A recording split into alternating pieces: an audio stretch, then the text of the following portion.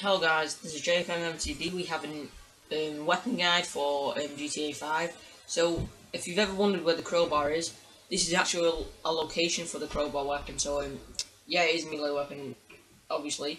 So, if you want to come here to the map, on map, um, it is actually just here, in around this area in the waters. Because when I actually did with Trevor when he was wearing only pants, like his undies, kind of shit, I did actually spawn on the side and then I swam in and then I found like the old ruin of like a ship kind of looking thing. So, um, yeah, I'm in a helicopter, so I can actually land it above the water and then jump out. So, not really above the water, but still counts. So, uh, yeah, what you really want to do is come out as far like length into the sea, and then you want to go just go down water. Then you will find like an old ruin that is right in front of me right now. Can you see the ship? Just gonna have to get some air again. So um, a lot of people do use um, belts, um, according to my friend, because my friend actually gave me this uh, little guide. So yeah, you do find a crowbar on this little ship. So you just get some air.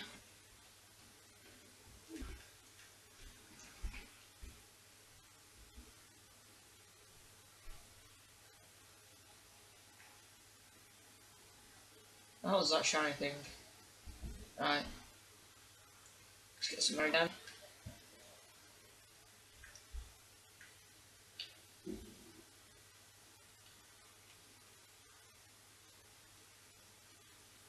Yeah, is um I think that's it down there.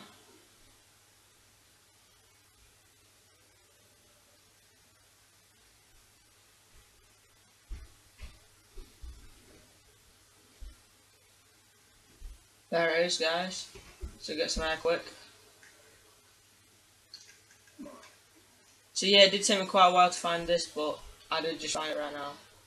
So there it is, down there. So yeah, I picked it up. Um, yeah, it didn't look like it actually did.